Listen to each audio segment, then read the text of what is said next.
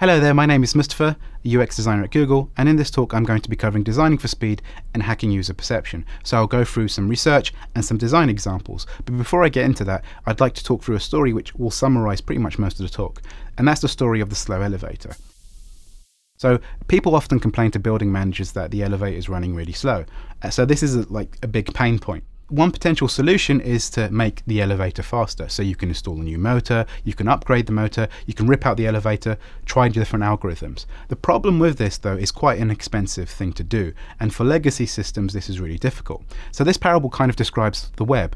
When new technologies or new techniques come out, it's really difficult to rip out old code and replace it with new code. So what can we actually do in these situations? Well, if we look at the problem and the pain point, the elevator is slow, really from a user point of view it's not so much the elevator being slow but it's actually the waiting being quite annoying. So if we reframe the problem we say okay waiting is annoying. So what can we do to actually make the waiting feel shorter? So we say okay building managers will put up mirrors they'll install a hand sanitizer and perhaps they'll play music. And this distraction technique will actually make the whole experience feel much faster. So reframing the problem can actually help us think about how we can hack things perceptively for the users because speed is broken down into two things real and perceived. So looking at some of the technical speed data, like we see like the Financial Times. So the Financial Times have this interesting algorithm called the tipping point. If the user comes to the website five times a month to read five articles a month, they're more likely to subscribe to their site. And if they reach nine articles a month, then they're definitely more likely to subscribe. So they have this tipping point the moment a user ac starts accessing the site five times a month. So they'll start targeting and engaging with that user. But what they found was by making the website one second faster, they increased engagement for everybody coming to the website. So making the experience faster from a technical point of view is really critical, but also the opposite of true. For every two seconds for a site takes to load, bounce rates go up by 50%. So it's really critical to make your sites technically fast. And from a UX point of view, when you ask users what's the most important thing on the page, they always talk about speed. As a matter of fact, the top four things here are all about speed and perception if you think about them. The bottom one, how attractive a site looks, is quite depressing for me as a designer, but on the mobile web, speed is really, really critical. But what can we do as a quick win? So we have an app called Squoosh that we released last year. This optimizes images on the web. Why is that important? Because average page content is images and images are really heavy. Uh, so this is a PWA, you can drag and drop images and start reducing the size of the images. And we demonstrate this at Chrome Dev Summit 2019 and showed by taking the iOS homepage image, we reduced it by 83%. So we can all collectively start improving the experiences on the web just by making images much smaller. You can download the code here and also grab any of the components that are useful, such as pinch to zoom. Um, so please do check that out. But speed on mobile web is important, but the perception of speed is just as important. Because what we find is at least a third of users still feel experiences that are technically fast are actually feel really slow. So what can we do to actually improve that? Well, perception and recognizable UI. Making navigation front of center is one small thing that you can do uh, because if a button is recognized straight away, the experiences feel faster based on the research that we've seen. So another example is making buttons recognizable as buttons. So the blue button here looks like a button, it's more likely to be engaged with, as opposed to the text button, which it you may be a button, it may not be a button. So if a person's looking around a page to see what they're supposed to tap or click on, um, the experience feels slower. So make your navigation items uh, recognizable.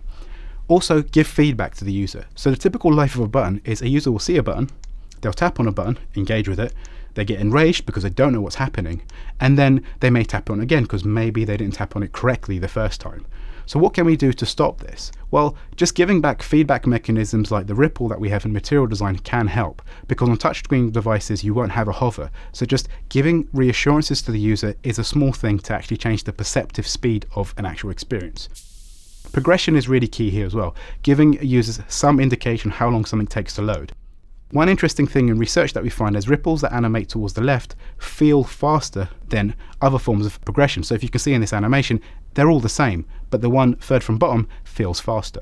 In YouTube, what we do is we will stagger the progress bar across the top just a little bit because it gives this anticipation and hanging so it feels like the site is loading. Again, this is a small perceptive thing that hacks the perception that the experience is actually in progress.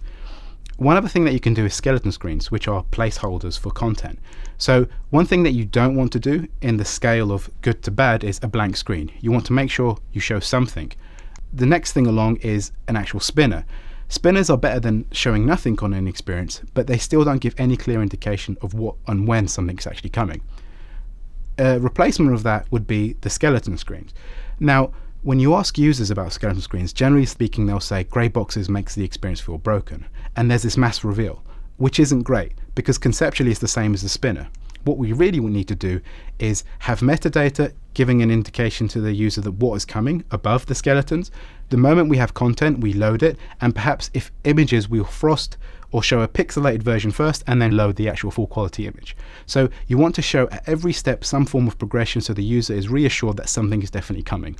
Now, again, this is contextual to your own experiences. So in YouTube, what we do is we'll load the video first as opposed to the rest of the content, even though it's the heaviest thing on the page, because as part of the experience, the video is the most important thing. So again, you have to target which content pieces are critical in your experience and load them first.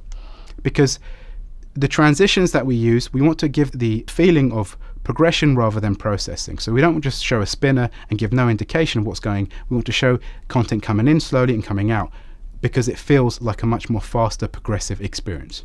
Um, so in summary, you want to make sure you reframe the problem. You want to avoid blank screens. You want to show bold animations, making sure that you're progressing rather than processing, and keep navigation clear and simple. To find out more about the research on speed, you can download our ebook here uh, called Brain Food. We can also uh, check out our PWA ebook to learn more about progressive web apps. And I also have this course on Skillshare you can learn about the process of UX to help improve your experiences. Um, and with that, I'd like to say thank you.